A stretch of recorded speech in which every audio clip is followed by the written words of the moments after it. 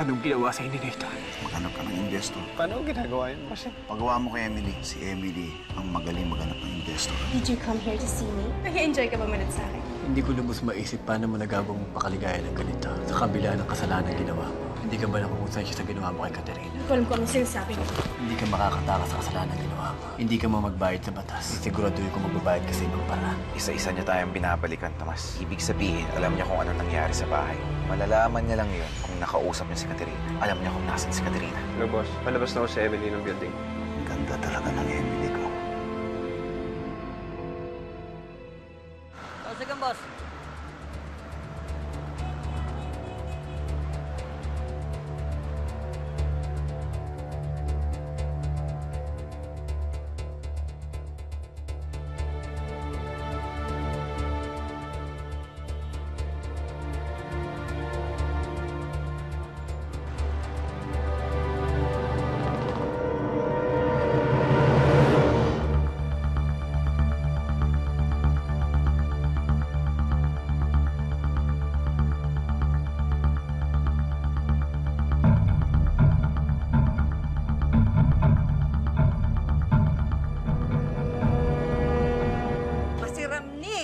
Bagong luto ang kamote.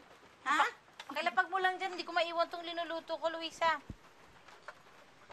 Magandang araw ho, Manang Balita ko may trabaho ka na, Ninay. Congrats, ha? Salamat ho. Mabuti na lang maganda ka. Mabait pa. Kanino ka kaya nagmana? Sa nanay mo? Hindi ko ho alam eh, kasi baby pa lang ho ako namatay na po yung mommy ko. Kaya ayun ho, hindi ko na ho siya nakilala. Naku, ayos tong pamangkin mo, Perla. Ha? Masipag na. Maswerte ka. May kadamay siya sa gastusin. Ay, talaga naman. Swerte talaga ako dyan sa alaga ko. Ah, sige ho, may ayusin pa ho ako eh. Sige.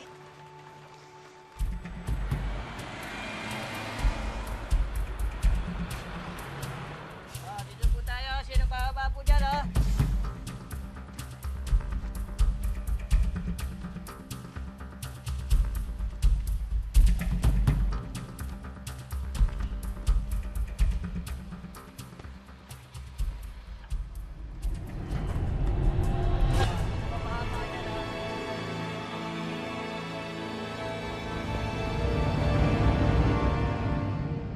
Perla, may extra kang kwarta dyan. Medyo gipit na naman kaya kami ni Homer eh.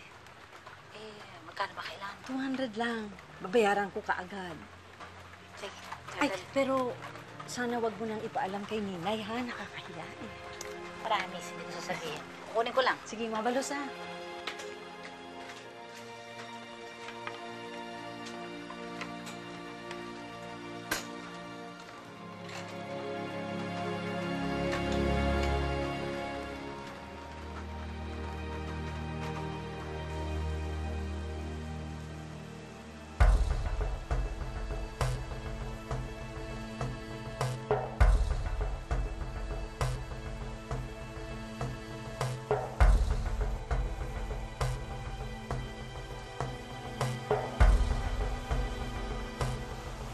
Talagang ayaw mo akong tigilan, Nathan.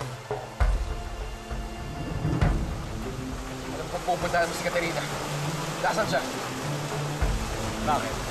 Para saktan mo. Hindi ko siya makikipagpamita.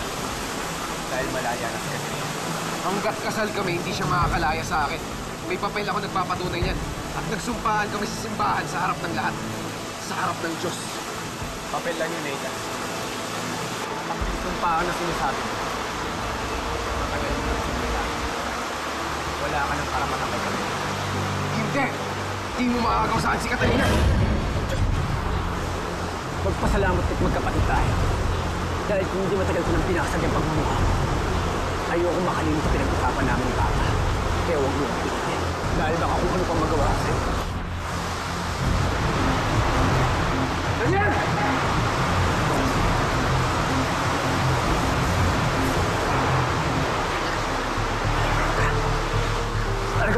Daniel! Talagang hindi ka titigil ah.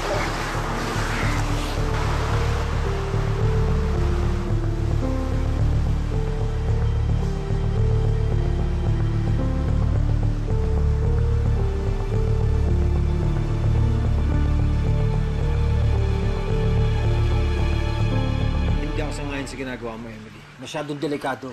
Kaya ko ang sarili ko. Hindi mo alam yan. Marco, habang nakakalaya si Miguel, hindi siya titigil sa panggugulo sa atin. Gagawa at gagawa siya ng paraan para hadlangan ang kasal natin. Baka nga sa susunod pumatay na siya. Hindi ako natatakot. Pues ako natatakot. Takot na takot. Hindi lang para sa iyo, Marco, pero para rin sa anak natin. Hayaan mo na akong gawin ito. Nang sa ganun makalaya na tayo kay Miguel.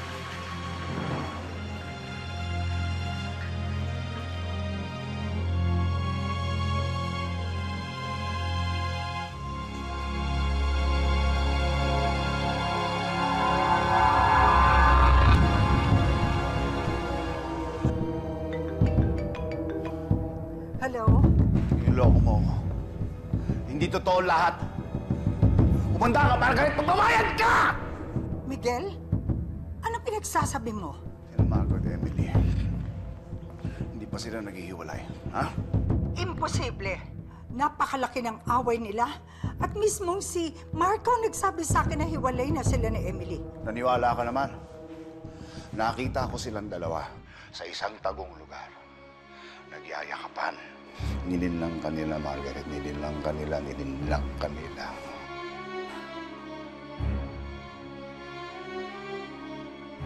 Ah, teka, Miguel. May paraan pa para hindi matuloy ang kasal. And this time, it's foolproof. The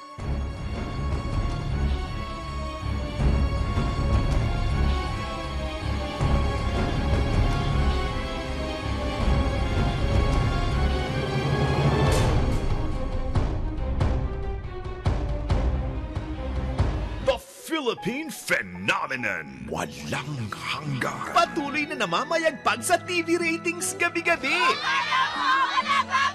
Phenomenal ang feedback sa social media at iba't ibang networking sites. Phenomenal ang official soundtracks. Certified gold na. Double platinum pa. Dinudubog ang mga mall shows.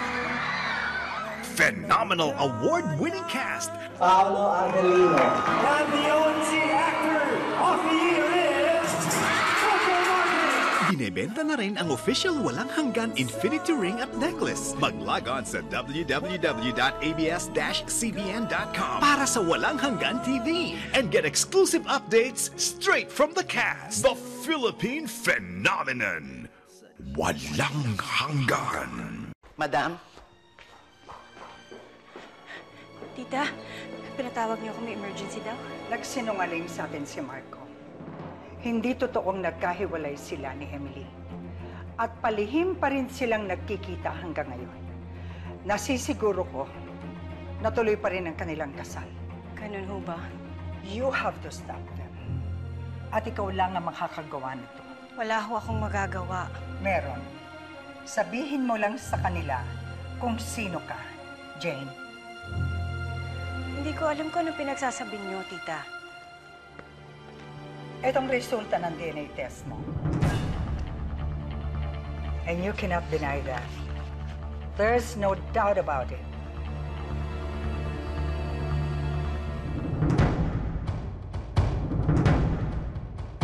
You are Jane Montenegro, back from the dead. Sa isang salita mo lang, hindi na matutuloy ang kasal ni Marco at ni Emily.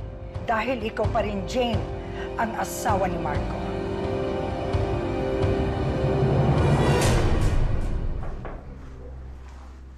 Kumusta lakad mo? Mamagat ba? Oo. Nakuha ko din ng investor. Papaprocess ko na nga yung papeles eh, para malipat na sa pangalan niya. Good. Bilisan mo, baka magbago ang isip, ha? Good job.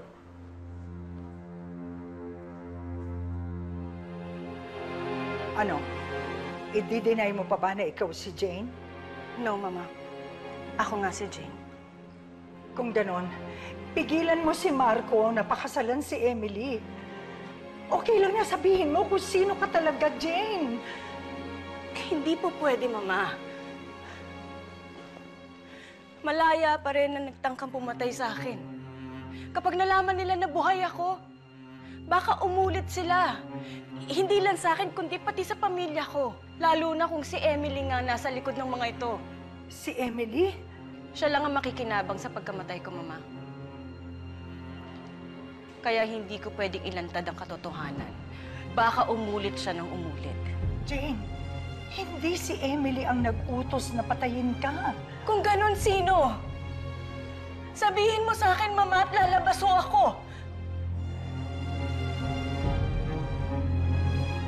Hello, Marco. Napaniwala ako si Tomas.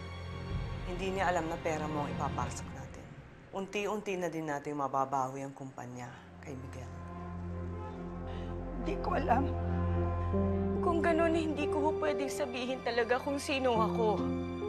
Hahayaan mo na lang na makasal si Marco at Emily? Umaasa ako na mahuhuli na ang killer bago pa maganap yung kasalan. Natutulog ang puso ko ting nakikita ko silang magkasama. Pero mas pipiliin ko ang kaligtasan ng pamilya ko kaysa sa sarili kong kaligayahan. Kaysa sa pag-ibig ko.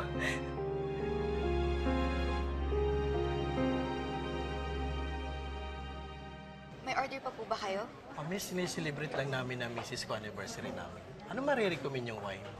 Huwag yung matapang ha, kasi hindi pa kami masyadong sanay. Ah, depende po yun sa panlasa nyo eh. Pero kung hindi po kayo masyadong sanay, maaari po kayo magsimula sa Cabernet. Tama-tama rin po bagay po yung sa in-order nyo.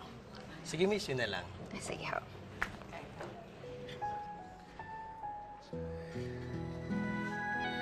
Katrina, Daniel, kakarating ko lang. Ikaw agad ang pinuntahan ko.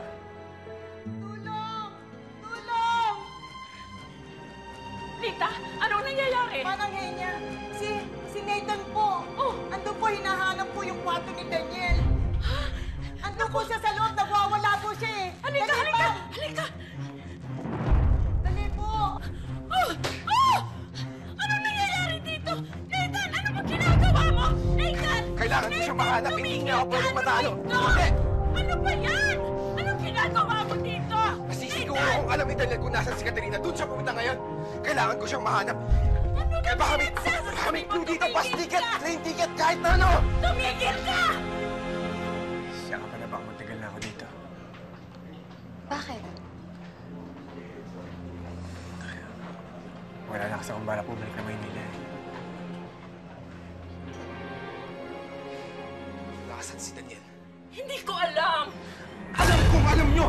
Si Daniel? Hindi ko alam! Maniwala ka! Hindi ko alam, Nathan! Hindi ko alam! Papatay ko si Daniel. Nathan, huwag mong sabihin yan! Kapatid mo si Daniel! Wala akong pakialam. Akin si Katerina. Akin ang buhay niya. Ang puso niya, ang katawan niya, akin! Oo! Oo, Nathan. Nathan, naiintindihan yun ni Daniel. At kung sakali man na makita niya si Katerina, igagalag niya ang pagkababae nito! Magdasal kayo man ng Henya na hindi ko sila makita magkasama. Dahil pag nagkataon, papatayin ko sila. Una si Daniel. At susunod ko si Katerina.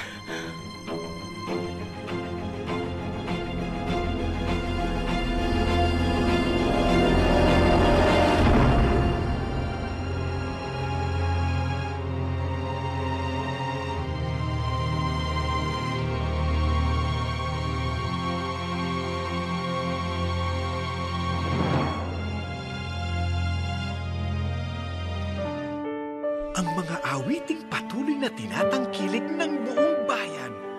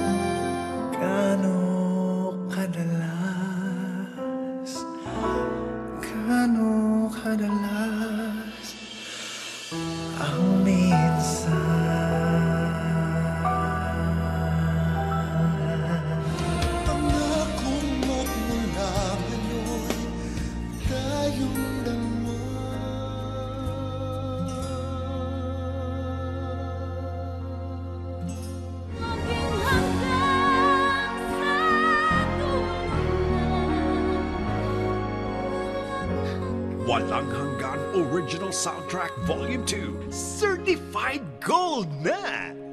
Ano ibig mo sabihin? Hindi ka pa babalik sa Maynila? Napag-isip-isip ko kasi, Katerina. Siguro mas mabuti nung dumito muna ako. Nakakalata na si Nathan na alam ko kung nasaan ka. Kanina sinundan niya ako. Napigilan ko lang siya. Kung hahayaan ko magpabalik-balik ako dito, bibigyan ko lang si Nathan ng pagkakataon para masundan ako at makita ka. Ibig sabihin, hinahanap pa rin ako ni Nathan. Hindi pa rin siya umahinto na paghahanap sa'yo, Katerina. Mas mabuti na nandito ako. At kung sakasakaling makita ka niya, nandito ako para protektahan ka. Hindi ko nahayaan na masaktan ka niya ulit.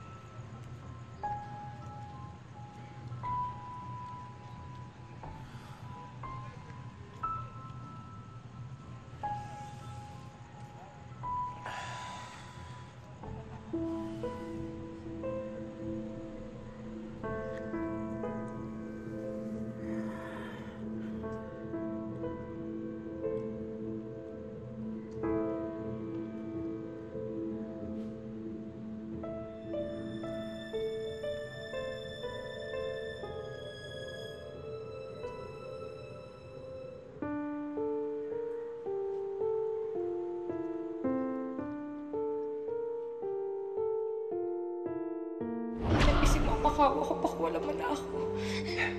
Gusto ko na maging malaya sa'yo. Dahil gusto mo sumama kay Daniel. Nasaan si Katrina? Ilabas mo siya! Ayon sa abogado ni Katerina, matibay ang kanilang ebidensya laban sa iyo. Gusto mo unahan tayo sa paghahanap kung sino makakita sa kanya si Katerina.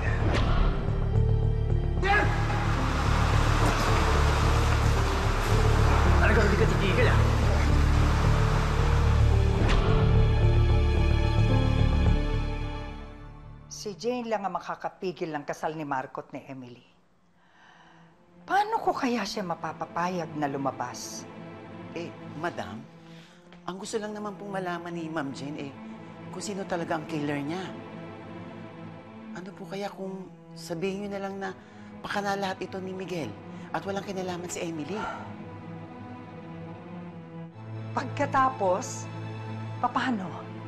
Paano ko i-explain bakit alam ko lahat? Kenneth, sa tingin mo hindi ako babalikan ni Miguel? Tiyak magsasalita yun at isasangkot niya ako. Oh, Oo nga, madam, ano? Ay, madam, what a dilemma. Natatalo kayo ng sarili niyong laro. hindi. I just need to force Jane to reveal herself. Mabuti na lang, alam ko ang kahinaan niya. Ang mga anak niya. Nasaan nga pala si Nathan at si Johanna? Kailangan ko sila. Ah, si Joanna po nasa kwarto lang niya. Eh, si Nathan naman, kaninang umaga ko pa hindi nakikita, madam. Eh. Kenneth, tawagin mo si Johanna. I need her to push Jane to admit her identity. Yes, madam. Now na. So, Tita, Mamu, what's wrong? Bakit kailangan natin mag-usap? Johanna, hindi totoo ang hiwalayang Marco at Emily. What? Yes. They still meet secretly. Bakit kailangan magsinungaling ni Dad? Dahil alam niya na habang magkasama sila ni Emily, gagawa at gagawa tayo ng paraan para paghiwalayin sila. But we won't stop, will we, Mamu? Paano? Ano pa bang gagawa natin? Imposible, Mamu. There are many other ways. Meron. At si Tita Jean mo ang susi dito. Pero ayaw niyang gawin. Naku, mabuti naman at nagkaayos na kayong dalawa ni Emily. Oo nga, tita eh. Alam mo, hindi ko talaga alam ang gagawin ko kung hindi naniwala si Emily na wala nangyari sa amin ni Jean. Ay naku, yung Jean na yun. Hindi kaya sinadya niya talagang pumasok sa kwarto mo para pag-awayin kayo ni Emily? Eh, sabi naman niya, hindi. Marco, wala ka bang nahahalata dyan sa gin na yan? Eh, marami, tita. Napapansin ko, labas-masok sa bahay. Ang pakiramdam ko, ginagaya niya si Jane. Ginagaya? Hindi kaya siya si Jane? Si Jane? Ay, si Jane? Tita, bakit? Hindi ba you want that all for yourself? Stop their wedding! Joanna, hindi po pwede. Maraming at stake dito at hindi ko yun isusugal. I'm sorry. Ano ba yun? Tell me the plan and I'll do it! Jean, kailangan gawin mo na. Alang-alang sa mga anak... sa mga anak ni Jane. Hindi naman imposible, hindi ba, Marco? Hindi talaga imposible, tita. Lalo na yung sa dami ng alam niya tungkol sa bahay. Tungkol sa akin, tungkol sa mga bata, lalong-lalo na kay Nathan. Eh, maaaring siya nga si Jane, pero... Kung siya naman si Jane, bakit tayo niyang lumantad? Ano ang pakay niya?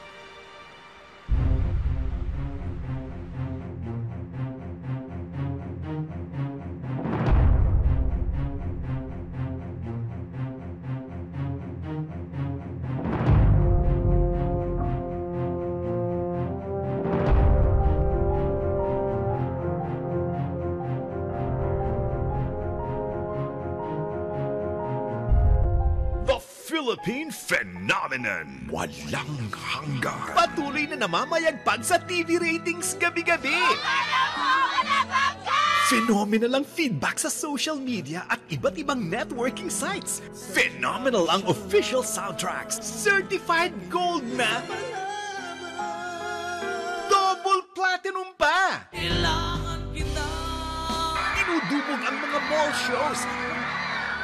Phenomenal award-winning cast. Paolo Angelino. And the ONC Actor of the Year is...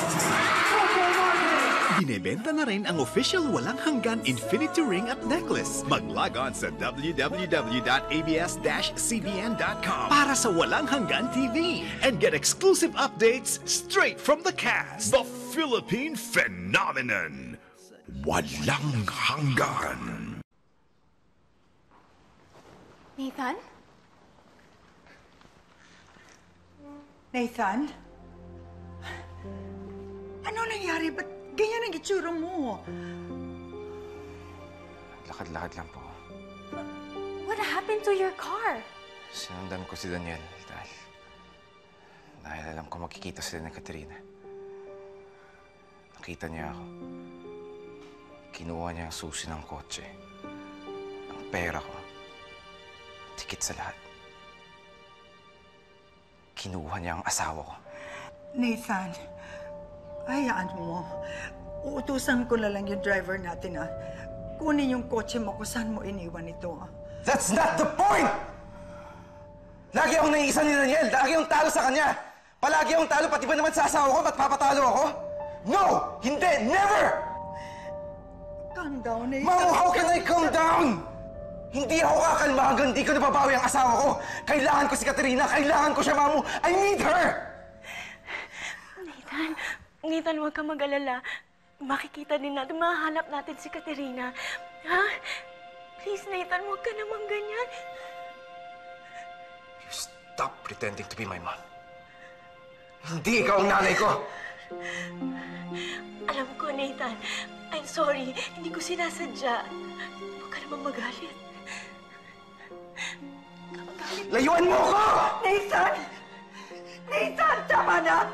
Huwag mo saktan ang mami mo! Hindi siya si Mami! Wala na si Mami! Patay na si Mami at kailanman di na siya babalik! She will never come back! Nathan! Nathan! Nathan! Nathan! Nathan! Nathan! Nathan! Nathan!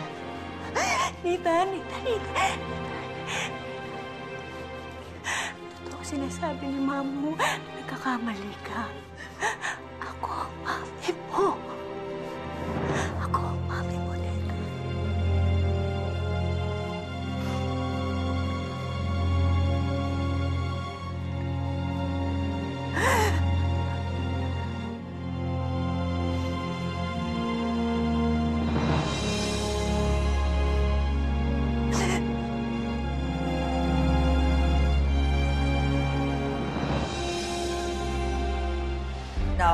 Truth is out, Kailangan ilihim pa rin po ito. Kasi hindi pa nahahanap kung sino yung killer eh. Bawat kasinungalingan, Paano kung makita ka ni Emily? Huwag mo akong istorbohin sa plano kong mabangon si Emily. Meron akong gusto malaman tungkol sa Santa.